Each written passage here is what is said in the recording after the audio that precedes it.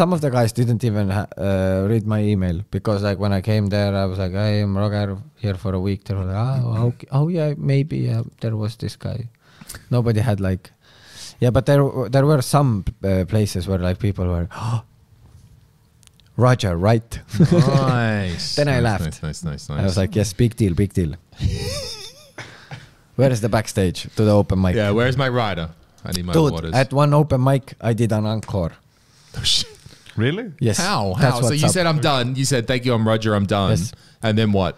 How did you get to the encore? Well, it wasn't uh, exactly like that, but like um, I I crashed at uh, this one um, gang show. So they have these uh, um, concept shows where like the crowd, like if three members of the crowd like say like you're bad, you have to get off, but you have like five minutes. So I crashed that show, and then like I got, got some contacts, uh, and I got invited to this uh, other show where you could do like 10 minute spots and it was like um like a club show i don't know okay. Yeah. uh, or club open mic Was it ticketed or? no no no it was like an open mic but it was like you could do like longer sets like Mm. people were doing tens and stuff like that uh, and um, yeah i got invited to there and then this guy comes up to me and asks me like the host man like how many uh, gigs you've done and i was like uh like over eight 800 and he was like oh okay so i'm i'm gonna maybe give you light at seven or maybe at 10 so now i understood okay Ah. like if I was just like, oh, I'm 30 sets in, you're gonna do five minutes. But he was like, oh, if this guy goes good, I can like he can do longer.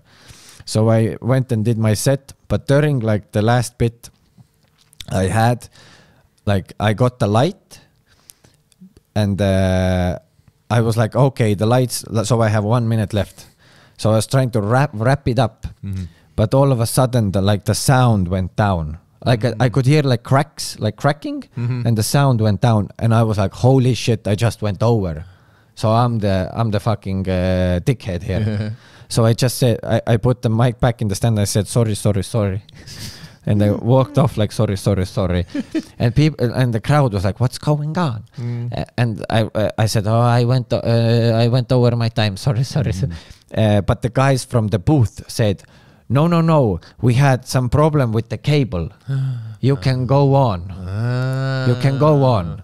So now I'm thinking, okay, I gotta walk back to the stage, and it's gonna be super weird. So I grabbed the mic, raised my hand, and I said, "Encore." yeah, and I was like, and I like kept on pushing it, like, oh, this is the first encore at an open mic you've ever seen in your life. so yeah, it was uh, super fun, and I did like extra four minutes or so. Nice. You got to work that. Like, uh, there are those, uh, you know, there, there's mics when when I host them, and I'm like, you'll do your fucking time, or I'm gonna bum rush the stage, right? Yeah. The reason that I'm, I when I like, if you if as a host, if you need to get the comedian off. You need to establish that beforehand. Like this is what's going to happen because even if the guy's a bit shit, there's there's an awkwardness to pulling someone off stage Yeah. Even if they're bombing, even if it's a bit much, like especially I'm hosting these conferences all the time, and some guy fucking blah blah blah. Like you can stand at the side of the stage and he doesn't notice you, and he keeps talking. And like if someone's in the middle, even if we all register that this guy's going too long, there's still some weird social awkwardness about like getting on stage and cutting. Yeah, because then off. everybody's gonna be like, ah, that guy pulled that guy off. Right, even though it was a bomb. So that's why when I'm hosting and I'm like, and I make it really clear, this is the scene, this is the vibe. All right, I am gonna like I tell people about it. This is what's expected. Expect this. Expect that I'm gonna bum rush the stage.